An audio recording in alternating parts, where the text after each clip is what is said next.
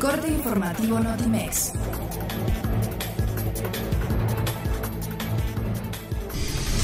El gobierno federal aclaró que no ha sido omiso ante los hechos de inseguridad y ha tomado diversas medidas al respecto, como la implementación del operativo Escudo Titán, que ha permitido asegurar a 1.784 personas vinculadas con delitos de alto impacto como homicidio y secuestro. El vicepresidente del Partido de los Trabajadores de Corea del Norte, Kim Jong-chol, viaja a Nueva York como parte de los contactos para preparar la cumbre entre el líder norcoreano Kim Jong-un y el presidente estadounidense Donald Trump.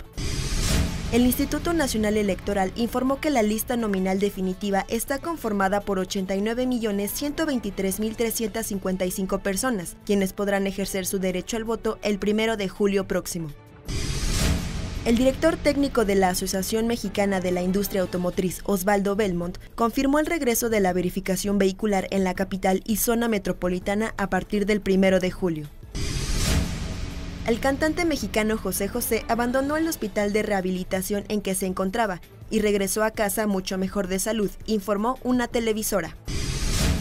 Barcos de la flota del Mar Negro de Rusia protegerán las costas de la ciudad balneario de Sochi de posibles ataques terroristas durante la Copa Mundial de Fútbol, que se celebrará del 14 de junio al 15 de julio como parte de las medidas para garantizar la seguridad del magno evento deportivo.